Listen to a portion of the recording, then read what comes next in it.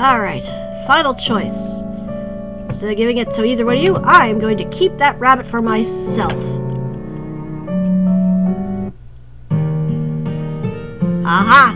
Didn't expect that, did you, ladies? Huh? Uh. Wow, Yatra, I didn't know you liked cute things that much. What? A surprise? You better treasure that bunny, Yataro.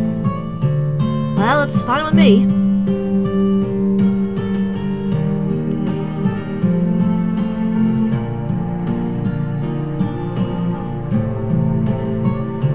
This is the way to go. So there won't be any competition or hatred. So we can all be together forever. I won't give it to either of them. I'll keep it for myself. No matter the consequences. Even if I have to stay single the rest of my life. We... We will always stay together, the three of us.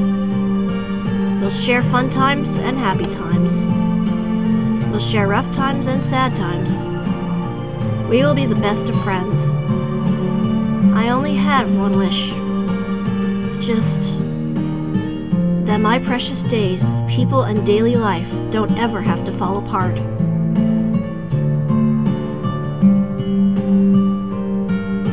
Bad and boring story. I think I prefer that one over the other two. There isn't any horrible death, hatred, and anything. I mean, yeah, it sucks. He's gonna probably stay single for the rest of his life because, you know, he's got two girls that are gonna go nuts if he ever finds someone. And he can't choose between, but other than that, uh, I think I will accept that ending. Again, still not quite sure what this has to do with the story of Cinderella.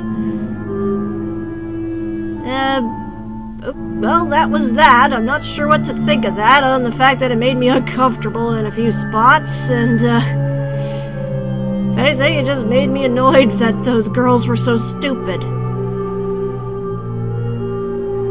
Well, either way, uh, that was Yandere. I hope uh, somebody enjoyed this uh, insane little romp around.